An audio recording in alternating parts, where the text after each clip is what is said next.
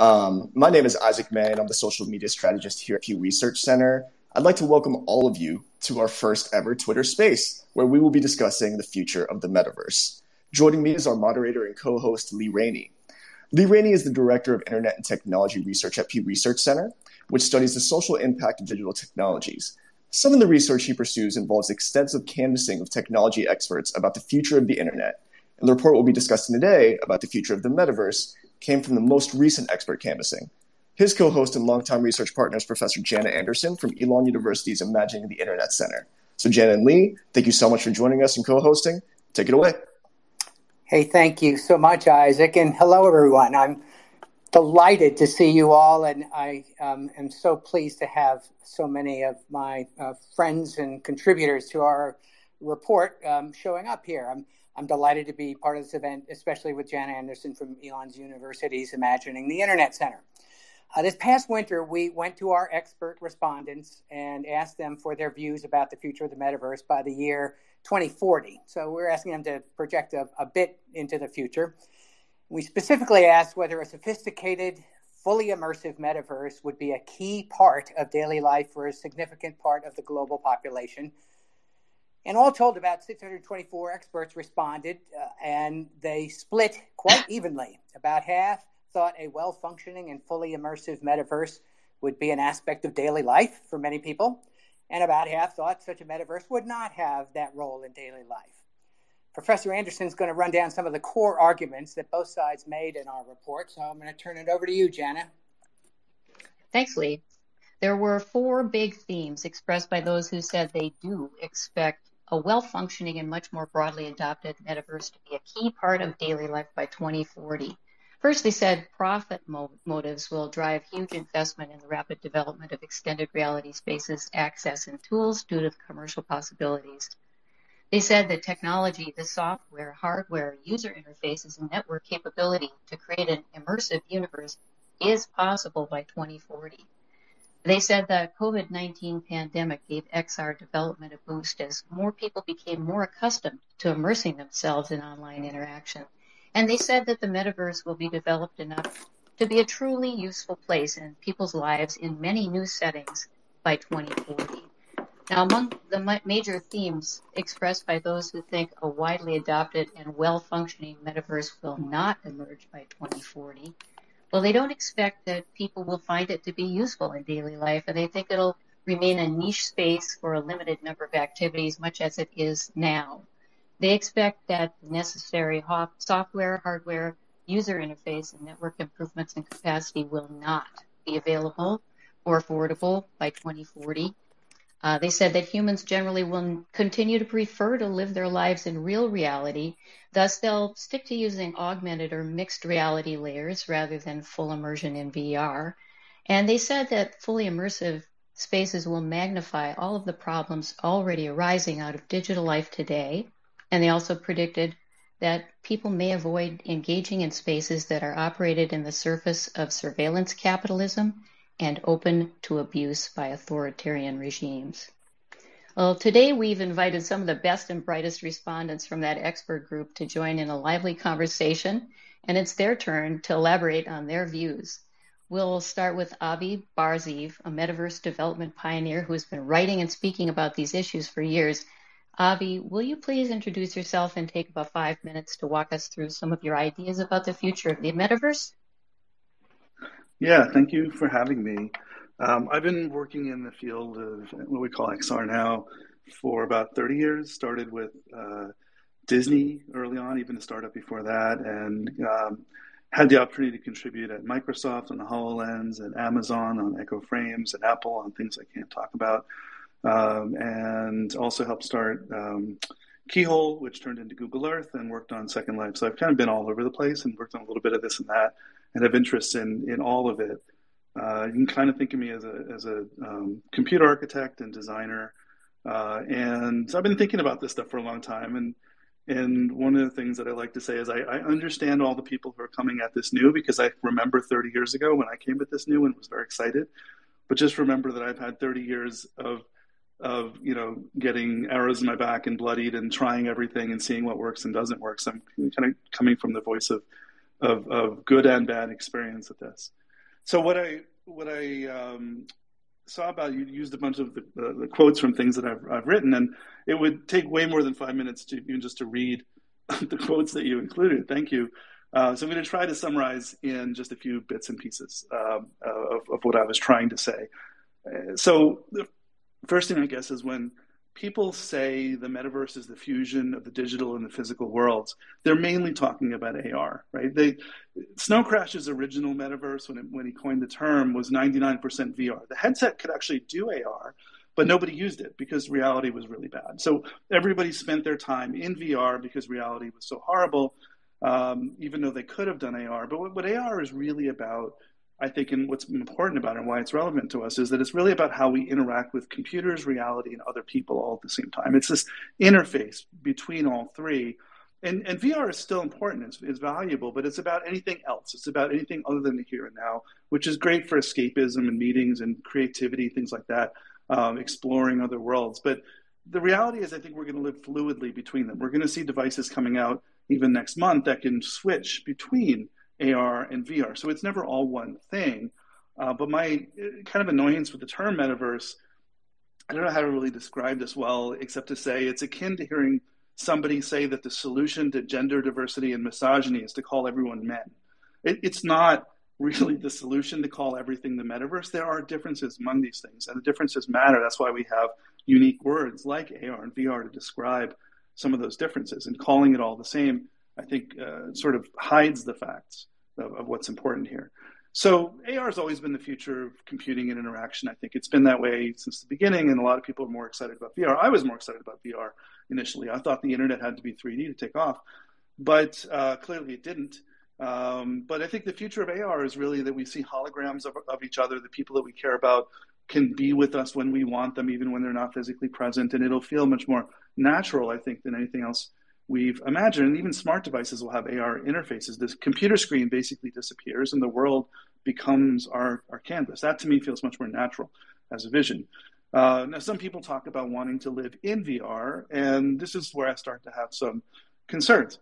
Uh, because it's a form of escapism for some people. I think it's it's akin to maybe easier than living on Mars, right? But it's about getting away from the, the restrictions of the world that we don't like uh, and the answer is the question is, are we ready yet? Are we, are we ready for that? And I think judging by the fact that we can barely live together on Twitter today without blocking people, and that's all just text, I'd say no, we're probably not ready for that yet because the, the levels of power we have over each other are going to be so magnified in, in virtual worlds that uh, we need we need much more maturity. We need much more empathy for other people to be able to live in that space together, even to get the benefits of all the things that we want. Um, for an example, um, I, I, worked on a, uh, I wrote a patent anyway. I can't talk about any details, but I wrote a patent for how would you block people in VR? Like, how would you actually deal with people who are harassing them, other than these bubbles and things that we do today? And and it turns out if you want to treat it the way Twitter does, which is you can block people and they disappear from your timeline, in in a physical virtual space, uh, that would be really weird because not only would the person disappear, but all their contributions would disappear if they had they had built the floor you were standing on, that would disappear. So we wind up with something much more like a consensual reality where everybody just sees only what they agree to see. And that becomes very hard to reconcile. So the world itself becomes very hard to imagine how it's going to work when everybody is so superpowered and, and, and filter bubbles become the least of our worries at that point. Uh, it's not unsolvable, but if you look at the state of things today, a lot of people working on the metaverse, the virtual side, are still busy recreating and solving problems from 20 years ago the Second Life and Star Wars Galaxies had to solve. We, we haven't evolved past most of those things. Yeah, we've added a whole bunch of new requirements uh, about ownership and things like that, um, but but we haven't even solved the core of the interactions. I think so. We have a lot of work to do, and I think first and foremost, we need to bring into these worlds, and this is true for AR as well, is is real empathy, real seeing each other as as people. Even the word avatar hides the fact that some fraction of the virtual people we see are real people with real emotions that we can very easily trample. And giving people superpowers, I think, makes it more likely that we will trample each other. We'll have it be much easier to do so. Just look at road rage given cars, how easy it is for people to take out their aggressions on each other. Um, and it's not that we need, you know, ultra realism in, in, in, humans or we want to blame the victims of the harassment for the abuse for being there in the first place. And neither one of those is, is the case. but being represented like a video game character is that really helping us to see each other as people? What we need to do is really treat the so-called empathy machine uh, in a way that it's going to really create empathy and, and treat people as people. Okay, so let's. Another thing I talked about was was privacy in the ad model. So switching gears just a little bit in, in, in, in the, to the for the sake of time. Uh, the big, big red flags that we have is that we are about to have a near future. Facebook is Meta is about to release a product that likely has eye tracking, reportedly, and uh, other biometric sensors have already been out for a while. But it, you know, we've written a lot about eye tracking and and the problems with it. And I think a lot of people get concerned and they want to regulate the technology. And what I what I come at it is let's not regulate the ads, let's not regulate the tech first. We will if we have to, but what we should regulate is the business models. The business models that say right now that it's okay to abuse our privacy for, for profit. It shouldn't be okay. It should frankly be illegal for a company to collect information about us and then use it against us. Uh, we should, on the other hand, we should encourage companies to safely use the data they collect. The biometric data is valuable and useful, but they should be using it for our benefit. Like when your watch tells you to see a doctor, that's for the benefit of, of the wearer and something we should value and protect if, if people choose it. Uh, and protecting from third party access like hackers or governments is also in our best interest. So the security of the data is really important. Right now, the ad tech companies are acting like giving us better ads is some kind of a mitzvah. Like you know, like that's what we all really want and need. But if that was true, we'd all turn it back on on our iPhones. And I think most of us have have privacy turned on instead. Uh, the the claim is that the dailies the data is freely co- uh, collected while we're in like we're in public places, but it's not true anymore. The, when we go on these sites, everything's now encrypted. Everything is really much more of a private space, and they also claim that we consented to giving this data when we join, but that's not true either because nobody reads the terms of service. The companies know we don't read the terms of service. It's, it's, a, it's a sham. So we need to really revisit this. And it's, it's this, this greedy lie of saying that we all are doing this because we want it. It's, it's just got to stop. If some people want it, great. They can, they can opt in for, for ads that, you know, that give them information. Personally, I'd rather pay for a site like Consumer Reports that tells me which products are good and which products are bad rather than living in a world of, of self-motivated advertising. But the, the danger now is that the eye gaze, data that we're about to be giving over to the companies is so much more compelling in terms of being able to not only pick the ads that we see, but manipulate us into watching the ads and into believing the ads uh, and iterating through our likes in the world, are, are essentially a form of mind reading. Now is the time we really, really need to start uh, regulating the, the use of this technology and how it's used uh, against us. And the final thing that I'm going to say, I don't know if I'm over five minutes or not, stop me if I go too long, but this will just be in a couple of sentences.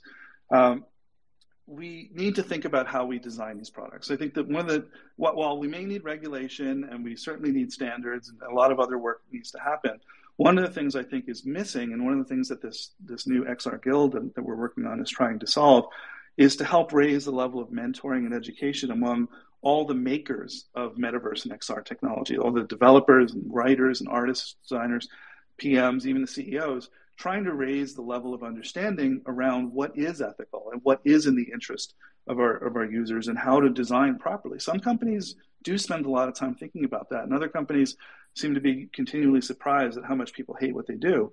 Uh, and I think we can help raise that level of understanding. They just don't teach this well enough uh, in school. And I think we need to go back and actually help with that level of education. So we've started this thing called the XR Guild that is meant to help with that. So thank you for listening. Uh, we're really looking forward to hearing what everyone else has to say. Hey Avi, thank you so much. That's a that's a lot to chew on.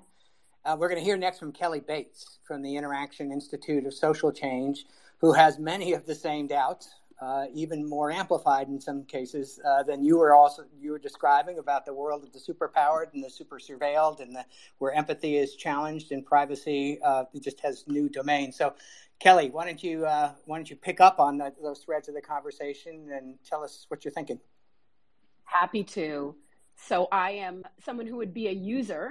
And I'm not in the technical space, but I'm president of a nonprofit national organization in the United States that is really about harnessing human interactions between people on a very, very uh, in person level, where we acknowledge that the way we collaborate effectively and powerfully and move through challenges as human beings and as a species is through our ability to bring our collective intelligences together in person. Now, that being said, throughout the pandemic, we had to evolve, right? So our work had to be done online. And so we had to adjust and we had to figure out how to bring that human interaction online and in a space. So we've learned a lot. And even in that, what we learned is many people still are not completely ready to be completely immersed in a, a metaverse that's a complete virtual reality. So I, I don't think we're ready, and, and I don't think it will be fully immersive. Yet, it will be timely, it will bring great innovation, and it will bring great despair. Uh, on the timely question, you know, having alternative universes that you can embed in can be very important and powerful. We saw that with the pandemic, the need for non physical space to access resources. So I used my organization as an example. We started bringing hundreds upon hundreds of people together on Zoom to try to mimic in person online. And thank God for it. Thank God for us being super users of Zoom and having the ability to translate human practices, human psychology into a virtual sphere. So, in an event of like a catastrophic event or crisis or something like a pandemic, in some ways it's timely to think about this kind of technology and to advance it.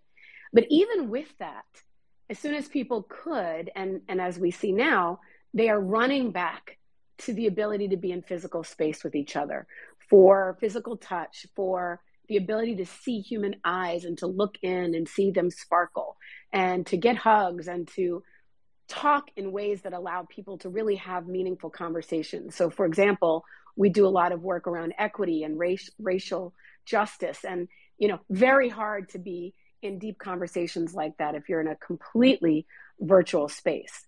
That being said, the innovation possibilities are really powerful. I think around art and business and education, it, it could be amazing to see what advancements that could occur in either an augmented space or a fully immersive space. I mean, as someone who's lost loved ones, like many of you, I mean, I would love to immerse myself in a space where my family members, before they die, record messages, record things they think could happen in the future. And I could be immersed in a technology where I see them, feel an experience of them, and hear their messages. I mean, like, that would be amazing, where I could experience art and I could do things and learn things in the event of a climate disaster or if I need to have that kind of solace. But on the despair side, what happens when you embed too much, right? We become alone. We become humans inside a portal, and our mental health can be challenged. So I think we have to really address what kind of collaboration can we have, like real deep human collaboration, if we're just immersed in a virtual space. I think people know those limitations and therefore wouldn't jump in that quickly. And I think mental health wise, we have to think about the ethics of what being in that kind of space can do, particularly if it's immersive and you're being encouraged to buy things or the person's being exploited in ways beyond what they even know or understand. And then the equity ethics, right? On the despair side, I mentioned mental health the inability to collaborate effectively as human beings you know will money only get you access you know who's going to be building this is it going to be built with people who don't have resources and are thinking about how to design for the margins right now we have a society built on profit motive and capital but sometimes there is deep limitation to what that can do and provide for people in these spaces and if we don't design for people who are most impacted in times of crisis or, or who are at the margins, they won't be able to fully participate in this, or worse, might even be hurt by it.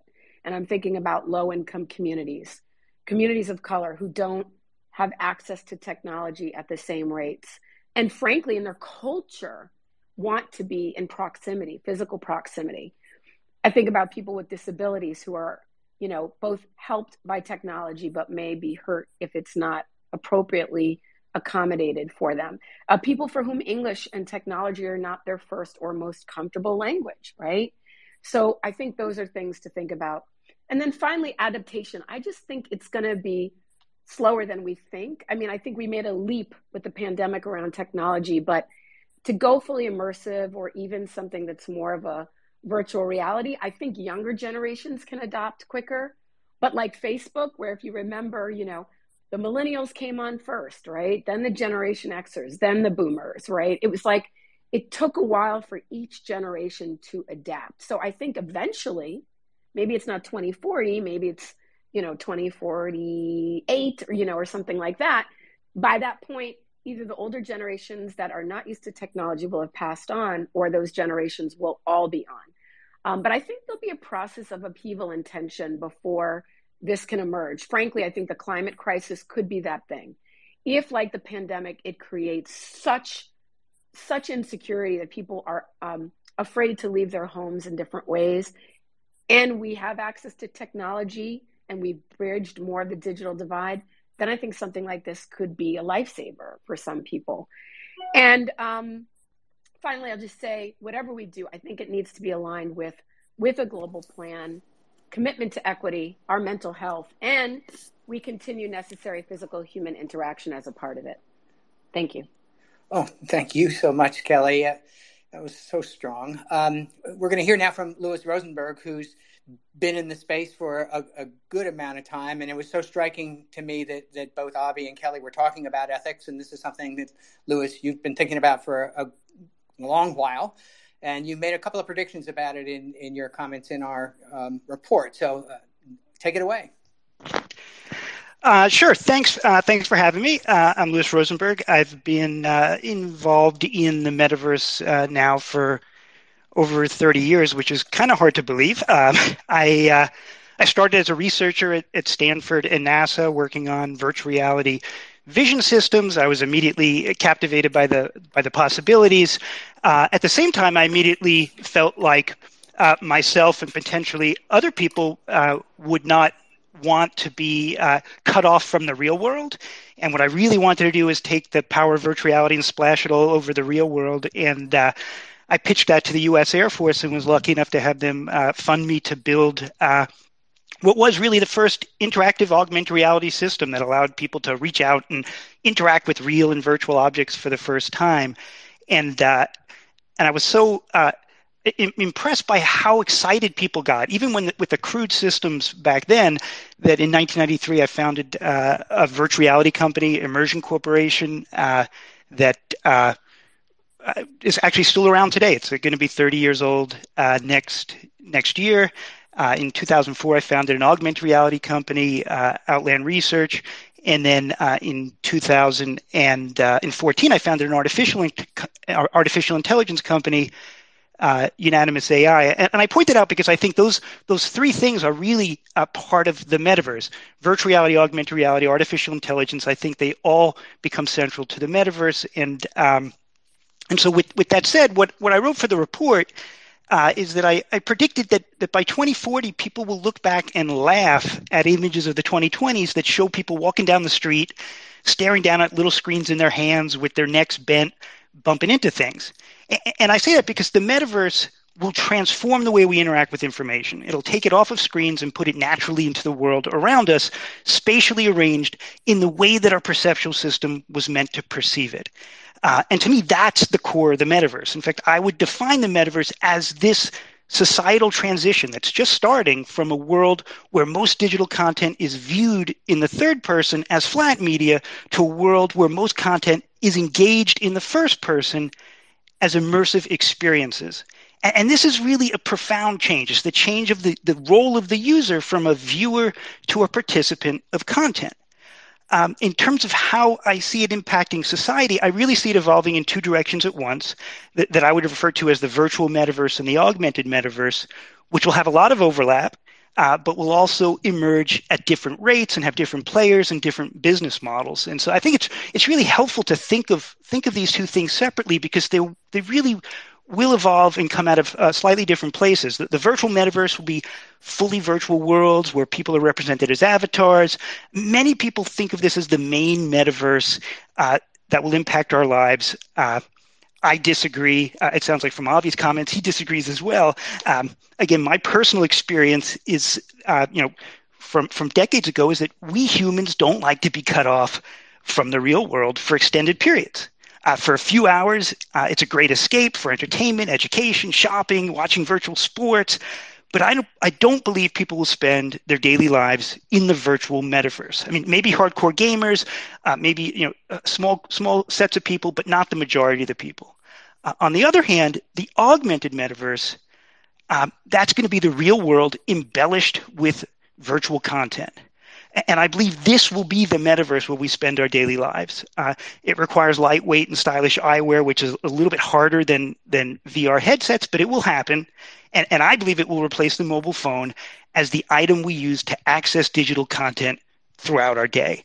And, and I do think that that transition will be fully realized by 2040. Um, and, and so I, I do think the metaverse is happening. I think it's happening faster than most people think because I think it will first appear primarily as the augmented metaverse.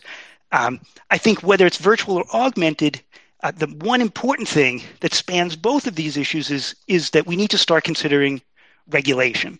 Uh, and I'm not talking about regulation of content. I'm not talking about regulation of users. I'm talking about regulation of platforms and platform providers. And that's because this transition from flat media to immersive experiences, by its very nature, will give metaverse platforms unprecedented power to monitor our lives and to alter the surroundings around users. And they can do both of those things without us, the public, even realizing it. And so, in, in, order to enable immersive experiences in virtual and augmented worlds, the platforms will need to track everything about our lives. They'll need to track where we go, what we do, who we're with, what direction we're looking, how long our gaze is lingering, how fast we're walking, uh, where we slow down, what store windows we glance in, what products we pick up off the shelves. They could potentially track everything. And if there's no regulation, they could profile everything. Uh, they'll also be able to track our facial expressions, our vocal inflections, our posture, even our vital signs, uh, blood pressure, heart rate, eye motions. And they'll be able to use this to accurately predict our emotions. This means that, that platforms will not just know everything that we're doing during our lives, they'll know exactly how we feel while we're doing it. And and how we react to thousands of little encounters we have every day.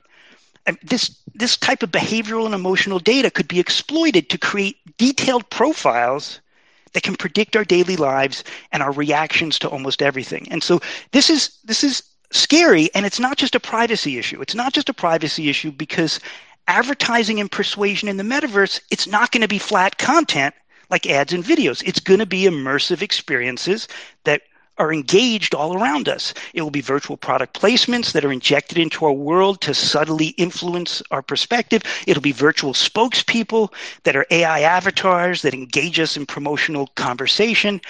And in both cases, we might not be able to tell the difference between an authentic experience that we just happen to serendipitously encounter in the, in the virtual metaverse or the augmented metaverse or a targeted promotional experience that's placed into our surroundings to influence us. And so, for those reasons, I really strongly believe that policymakers need to consider guardrails that will allow us to trust the authenticity of our experiences in the metaverse. And to me, this means you know, at, at the very minimum, rules that require promotionally altered experiences to look and sound different so that we know what is promotional and what is authentic. And without that, I don't I don't think there's a way to have trust in the metaverse. Um, and again, I'm a proponent of the metaverse. I've, I've been pushing for immersive worlds for 30 years, and I, I believe that it has a, a really big potential for good. I, I think it can be a deeply humanizing technology that allows us to access information in the form that our perceptual system was meant to receive it as first person experiences and this le- unleash you know un- unbelievable magical magical applications but we need to also protect against the downsides and do it quickly or we could end up tainting the metaverse and making it a place that, that nobody trusts because they can't even trust what's real and what's not real. So. Wow. I'm rolling my jaw up to my mouth. Um, thank you so much louis uh, now I get to welcome a friend of my research team at Pew, Andre Brock from Georgia Tech. In his name, in our report about this, uh, drew very history and how it might apply to the unfolding metaverse. So, Andre, introduce yourself and, and let us know how you're thinking about the things we're discussing. So, I'm Andre Brock. I'm an associate professor at Georgia Institute of Technology, where I teach about uh, largely digital and social media, but from a cultural and racial perspective. Uh, some folk would call it science and technology studies. Uh, my home field is a very uh, little known field called social informatics, which investigates the, in, the implementation of computers in institutions, largely businesses, but also informal ones as well. And so, from that perspective, uh, we learned from failure cases on how to understand how technology uh, makes its way into organization and society. And it, I say failure cases in particular because, in many cases, the introduction of a technology that was promised to be transformational, more productive, more effective was often led by elites who did not have to use that technology on an everyday basis, but had the power to enforce that technology's use on people who reported to them or who were consumers of the products that their company made. Right. And so from that perspective, I'm really skeptical about a metaverse happening in ways that would be, as uh, some of your your previous speakers have mentioned, that would be equitable or useful, uh, much less immersive. So I want to thank Avi for mentioning uh, Snow Crash earlier because Snow Crash is one of my favorite novels ever. Uh, we could talk about the merits of Neal Stephenson as an author later, right? But there were multiple metaverses in the the book that Stephenson wrote uh, back in the '90s. One of them was the one that a lot of te- technologists love, uh, the one where uh, entities such as corporations, banks, and uh, other uh, institutions were represented by abstract shapes in a virtual space connected by uh, um, a meta um, monorail that would take you around the entire information sphere right? But there was another one that was more banal that speaks to where we are today, and that was the role of the government employee who was surveilled on multiple levels by her employer to determine whether or not she had her eyeballs on the screen at appropriate moments, how many bathroom breaks she took, the length of her communications with her superiors and other coworkers, the content of her communication. And to me, that's what the promises about the metaverse are leading us toward, as opposed to some sort of com- uh, communicative utopia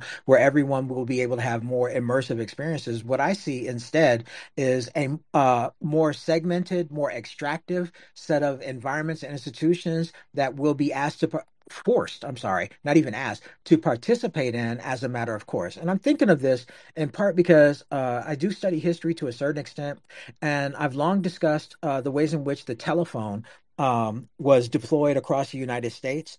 Uh, current landline usage is at 40%. Uh, 40% of American households have a landline. The vast majority of people now, one or more members in a household have a cell phone. Many households are cell phone only. But when the telephone was introduced as a way to that businesses took up in order to have communication between themselves and their customers, Black folk were left out of that information uh, expansion of that information environment. Right? We either shared uh, telephones and uh, one person who had the landline in their house in a neighborhood, uh, or we were forced to wait around that telephone for job opportunities or to communicate with our employers, right? And that type of inequities has persisted even as more people have moved to cell phones, right? Um, many, uh, my youngest just got her first job at McDonald's, and her grandmother told her that you know when you go looking for jobs, you should walk house to house. I mean, business to business, and get applications and show them that you're willing to work. And she laughed. My my daughter laughed at her, which I told her wasn't a good idea, right? But she said, you know, that's not how applications work today. Many folk apply for jobs using either um, uh, websites like Indeed.com, right, or the the companies themselves have their own bespoke websites where the applicant walks up to a kiosk. This is the metaverse that we already exist in, where it's not necessarily augmented reality. I would still call it an extractive and exploitive reality, where people can only access on the terms that employers and the government deem necessary. I'm I'm driven to think of the ways in which um, SNAP benefits for those who, who are outside the U.S. Uh, the U.S. provides a means tested program that provides mothers and the and poor folk with uh, uh, funds so that they can buy food and other commodities in order to live a daily life. But the U.S. moved those uh, systems to a digital system because of persistent stereotypes about poor people, particularly black people, and fraud, right? And so these systems were moved to online systems such as debit cards and the like. And as such, they have really reduced the ways in which these folk can have any sort of agency with the type of food products they buy or use or utilize. Right. So I'm rambling a little bit and I'll, I'll try to, to be brief. Right. My my overall thought is equity, as uh, the young lady mentioned earlier, is going to be a persistent problem. But I'm really uh, kind of concerned about the idea that a system such as the West, and we can add China to and other spaces to that as well, which is driven on the extraction of humanity for governmental or capitalistic uh, uh, motives, right? And then the eventual exploitation of natural resources, including people. I have trouble believing that it will provide any kind of uh, AR or VR environment that is of use to anybody but those who have the most capital, the most wealth. Right. Uh, I remember uh, an interview that Bill Gates had 20 some years ago where he said he didn't even allow his children to have iPhones right?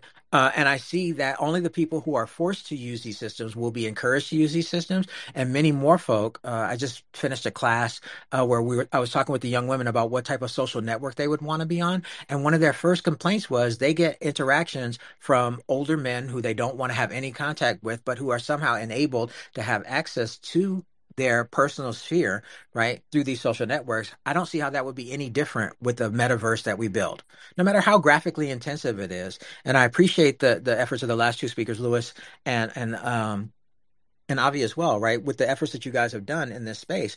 But immersion only works when you don't necessarily believe that the in the, in the that the the tools that you build uh, I'm sorry. I let me let me rephrase that. Immersion really only seems to work when you believe that the tools you build are somehow better for humanity than humanity themselves. Right, and I, I'll, I'll I'll be willing to joust back and forth about that if you like, but I think I'll stop there for now. I've said a lot. Hey, thanks, Andre. Uh, we're going to hear next from uh, Toby Shulruff, the National Network to End Domestic Violence, who was one of the strongest critics of the metaverse in our report. Um, so, Toby, introduce yourself and elaborate on your concerns. Hi, Lee. Thank you so much, and Janna, for inviting me into this conversation. Um, I've been working at the intersection of technology and gender based violence for 20 years now, and more recently in the emerging area of public interest technology or technology in service of people and planet and not just profit. Um, it's my sense that the metaverse has a lot of hype, a lot of momentum, uh, the previous iterations and this current one. I have concerns about it. Uh, I have concerns about the generation, the direction of technology generally. What happens when we go from always on to always in as it becomes more and more immersive? You know, I, I have loved technology since I was little. I programmed my Commodore 64. I roamed the early web. I got on social media, played around in VR. So it's not that I'm anti technology, but I've also seen the risks and the harms as we move online from the real world, uh, whatever the real world is. It's not just one more place where messy human problems turn up. Digital technologies accelerate and amplify hate, harassment, abuse, and disparities of access, as the other speakers have, have been talking about. Um, and so I think that there's also no going backward, though. We can't go into some rear view mirror paleo diet, diet idealized past with no technology. Um, harnessing technology was uh, harnessing fire was technology. Cuneiform tablets were technology, uh, just as much as molecular gastronomy is technology today. This dichotomy between us and our technology is a false binary. Like Donna Haraway said, we're cyborgs. Our, our tech has shaped us as much as we shape our technology there are microplastics inside me and it was in the milk that I fed my babies, right? The shape of my bones, my height is the result of thousands of years of agricultural technology. So I don't think that we can separate a space that is online or is the metaverse from the real world anymore. Um, I think, you know, as technologists, we can go back and forth about what those lines are, and that's important as we shape standards and laws and design technology. But for the average person who is experiencing this or who is excluded from it, that distinction is is blurry.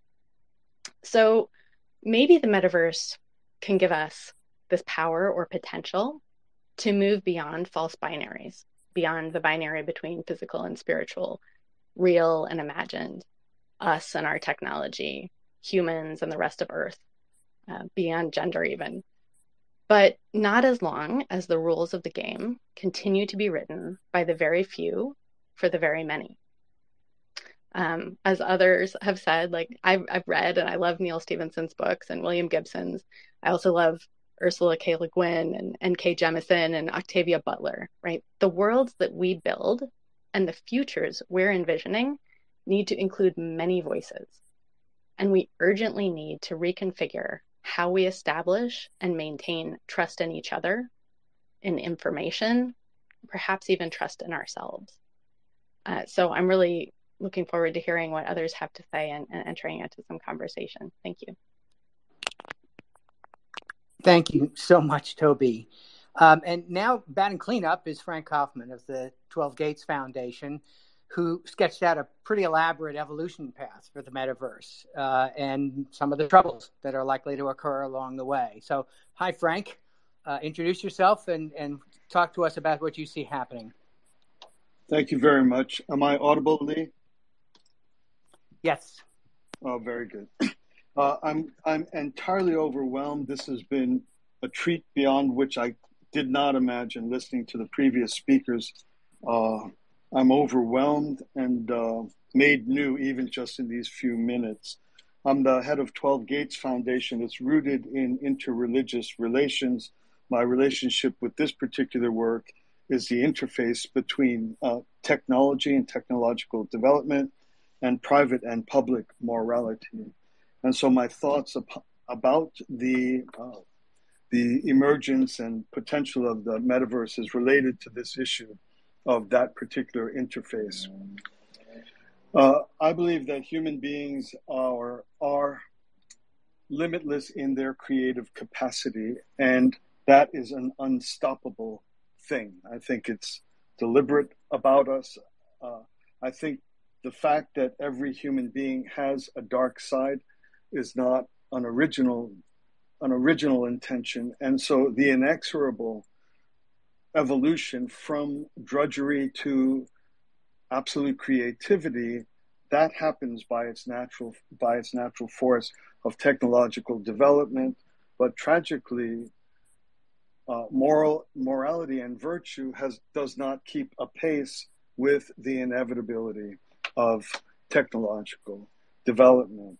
So I believe that regardless of how, and some of the commentary here this afternoon has been positively frightening for me to listen to, uh, but that notwithstanding, and the warnings we've had from every speaker, uh, nevertheless, nothing will stop, nothing will stop this technology from advancing as far as it possibly can and and even beyond what we might imagine.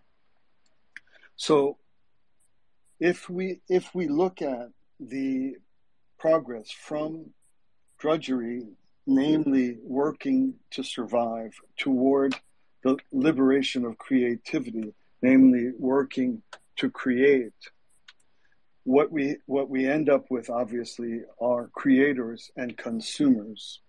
And what we end up with is instruction and entertainment.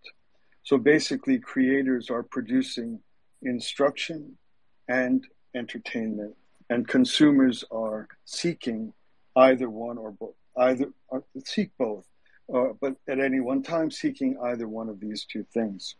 So the dark side of the dark side of that reality is that we don't only just come up with a greater capacity to instruct and inform and a greater capacity to learn and grow or a greater capacity or a greater capacity to create uh, entertainment that's more wondrous more vaunting more vaulting uh, more uh, delightful.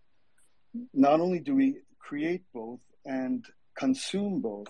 But likewise, the dark side of human reality is that the instruction we create can be more profoundly and perfectly demonic in its capacity, and the entertainment we create likewise, similarly, and the and the and the and the instruction and the information we seek likewise can either seek to uh, um, enhance our glory or to degrade us to the depths of depravity.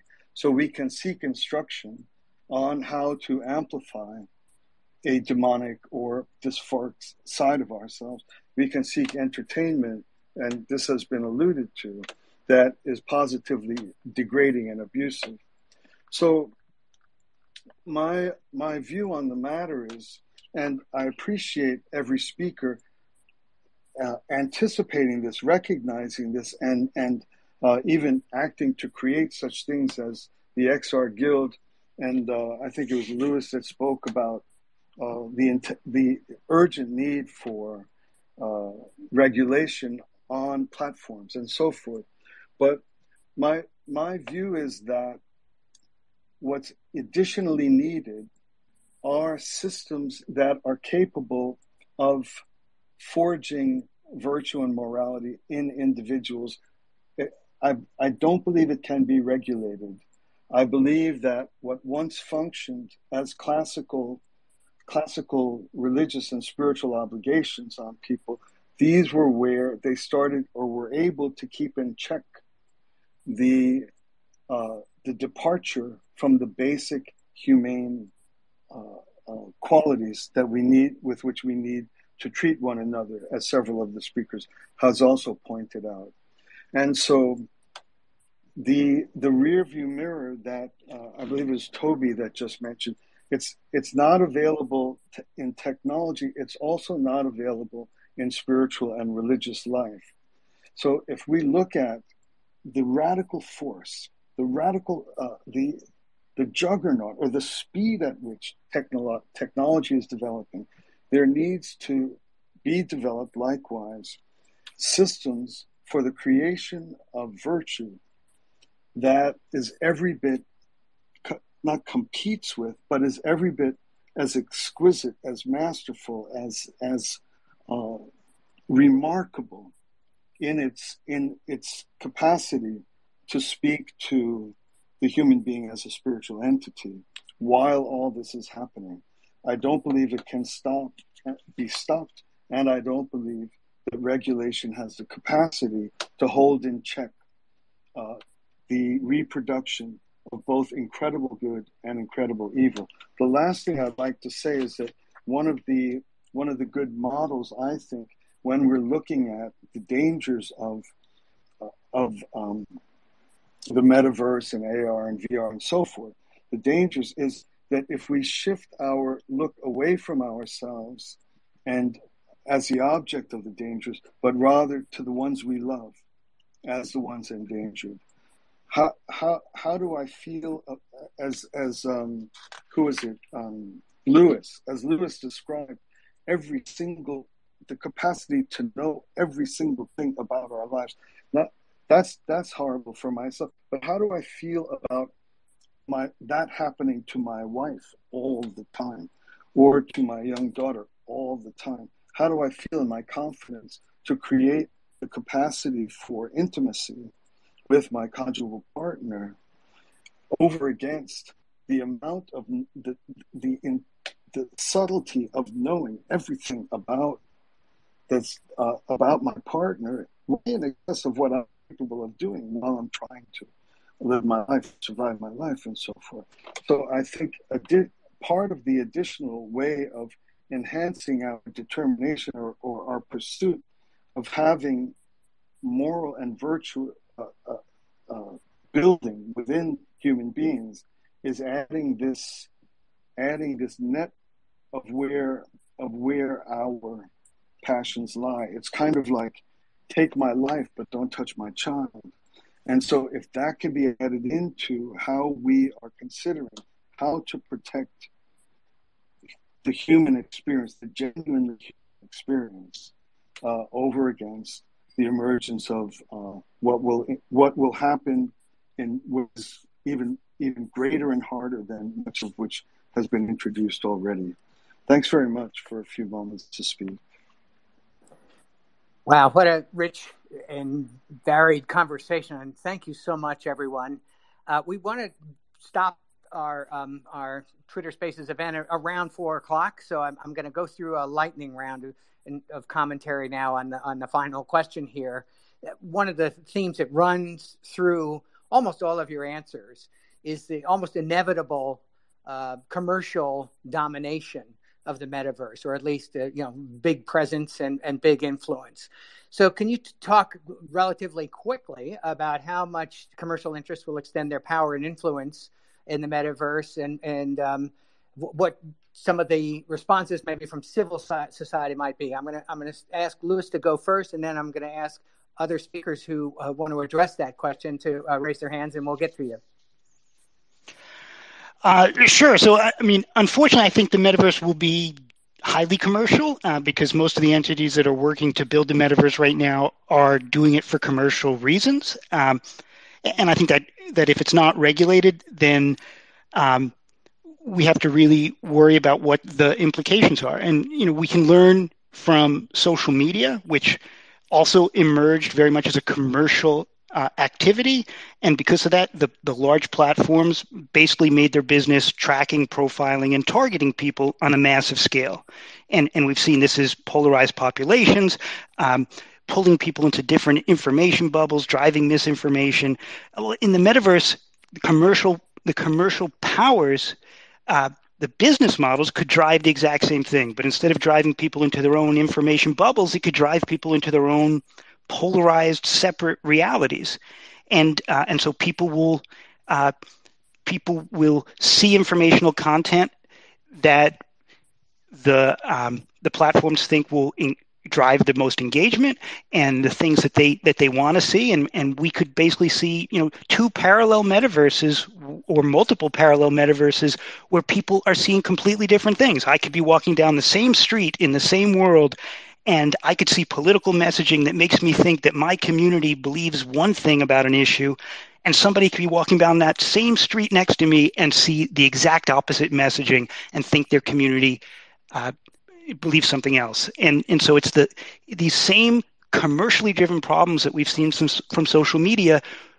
could leap off the screen and just be spread all over the real world. And and again, it goes back to you know we need regulation, and we need regulation that that helps contain the business models. And uh, and Avi said this you know at the at the very start, um, and I totally agree, which is. The, the, it's not the technology that needs to be regulated. It's it's the business models and it's uh, it's containing these commercial pressures so that they're not motivated to to track and profile and and manipulate uh, their user base. Wow, thank you so much. Hey, hey, Kelly, can I put you on the spot and maybe think about that same question about the commercialization of the metaverse? Yeah, I can be very brief. Um, the problem is we often have commercial entities being regulated by people who have connections to commercial enterprise, even our politicians. And so I think we would need to do something fundamentally different where we have, you know, community members, health practitioners, doctors, you know, people who are concerned about equity concerns, also somehow advising this this huge expansion and having people who don't have profit as their first motivation at the table. Hey, thanks so much. Avi, you want to go next?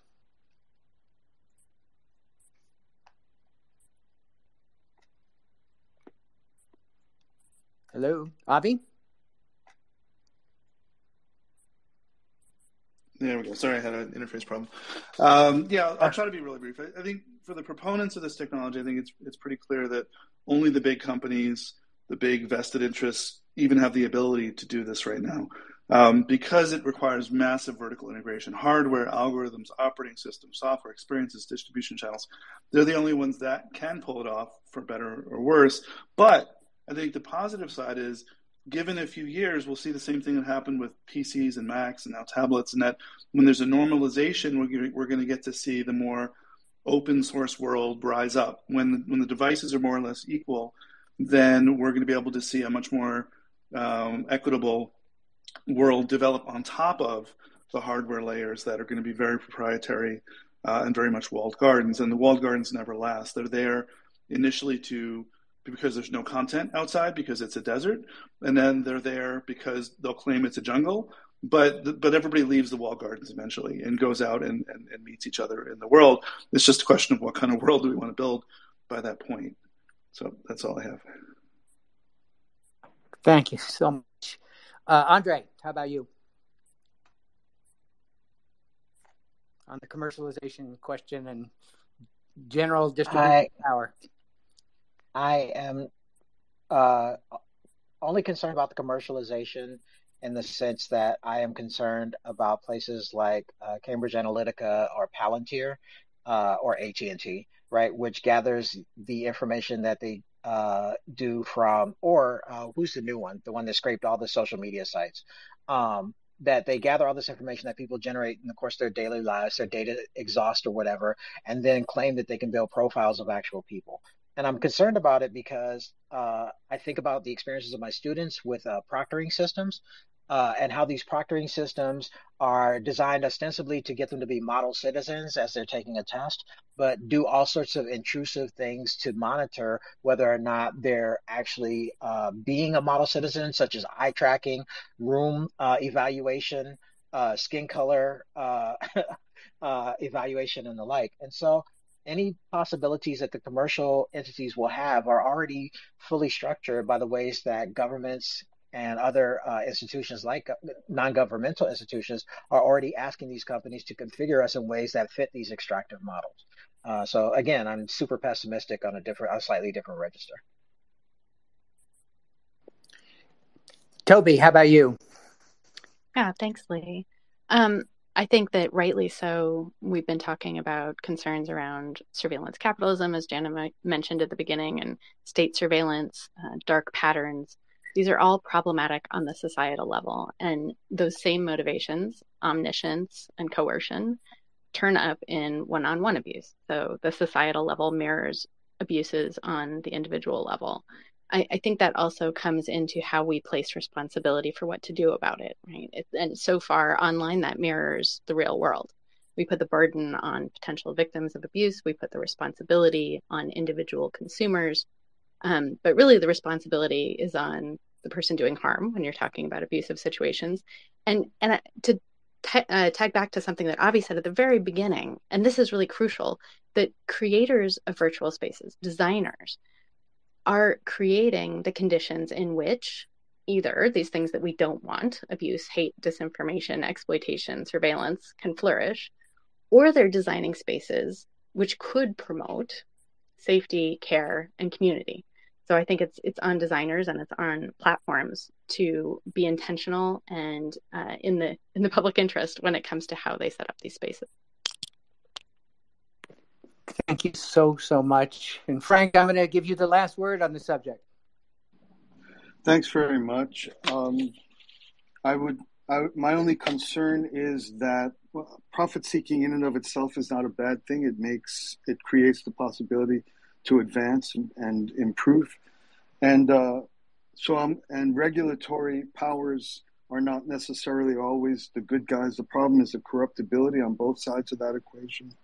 And so, as we're looking for ways to kind of protect ourselves from the dangers or from the dark side of these developments, it's just one of the areas that I think needs to be considered is the corruptibility of both sides of the equation, as well as oftentimes the collaboration in which uh, now now regulators are bought and profit seekers are in control in one way or another. So this is just uh, a relationship and a way of uh, gazing at at the corrections or protections we're hoping to uh, have in place is an, another another point of uh, of careful consideration, careful observation. Thank you very much. Thank you all so much. Um, Janna and I have been doing this work for 18 years. We've written 41 reports off these expert canvassings about the future. And I've got to say, the one that we talked about today, first of all, was incredibly well represented by the panelists who spoke. Um, and it was one of the best ones we'd ever done. I, I, I think it was, it set an agenda and a framing for a big issue that's looming in our future. That um, you know, we I think we did it. We captured a lot of great smart voices in this, and a lot of great smart as concern. Uh, we posted the, all 41 reports uh, and the link in the chat if people want to see it. We're also going to uh, make this uh, audio available. We'll point you to it. You who came, and I'm, you know, a hand over heart. I'm, I'm loving the people who um, were speaking today. Thank you so, so very much. And Isaac, um, back to you to close us out. All right, thank you, Lee. Um, I would just like to thank all of our experts for participating. Thank you, Jan and Lee, for coordinating or for co-hosting, and thank you all for listening. If you'd like to read more from this canvassing that we were talking about discussing today, you can find it at pewresearch.org slash future of the metaverse.